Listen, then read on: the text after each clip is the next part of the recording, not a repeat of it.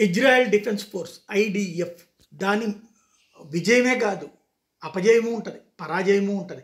యుద్ధంలో కంటిన్యూగా గెలుస్తానికి సినిమా కాదు సినిమాలో అయితే హీరో మాత్రమే గెలుస్తుంటాడు. కానీ సే- నిజ జీవితంలో అట్లా ఉండదు. విలన్లు గెలుస్తుంటారు. ఇప్పుడు అక్కడ ఇజ్రాయెల్ డిఫెన్స్ ఫోర్స్ మీద వరుసపెట్టి మిస్సైల్ దాడి. ఏది?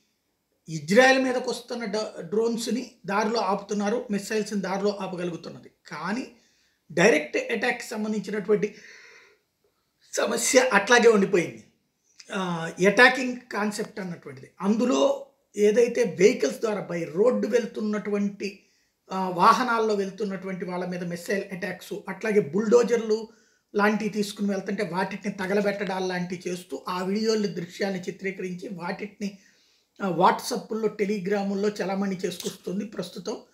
అక్కడ ఉన్నటువంటి పాలస్తీ హమాస్ తీవ్రవాద బృందం. దాని ద్వారా యువతని మరింతగా రండి ఇందులోకి చేరితే మీరు బాగుపడతారు మీరు అల్లాకి సేవకులు అవుతారు అంటూ చెప్పుకొస్తోంది.